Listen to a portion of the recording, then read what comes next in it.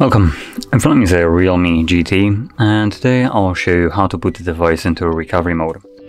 And to get started you want to hold the power key and select power off. There we go. And once the device turns off you want to then hold power key and volume down at the same time. So start pressing both of them. And when you see the Realme logo let go of only the power key but keep holding volume down. There we go, I let go of the power key.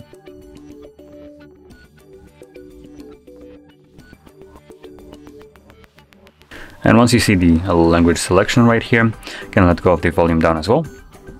And from now, only select your language by tapping on it. And as you can see, we're now in the Realme UI recovery. Now in here we have only three different options. So we have reboot, power off, and the wipe data option.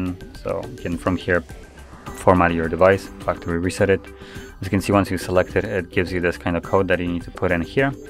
Um, so this code changes every single time and this is not necessarily a screen lock code or anything like that. It's just some randomly generated one for basically verifying uh, that you want to factory reset your device. So anyway, uh, that's basically the only option that actually does something you can access here. And if you want to leave this mode, all you need to do is either select power off or reboot, depending if you want to turn off your device or simply go back to the Android, which I do want to go back to Android, so I will select reboot. And it's barely visible, but there is an OK in red color, so just simply tap on it. And this will initiate a reboot of the device.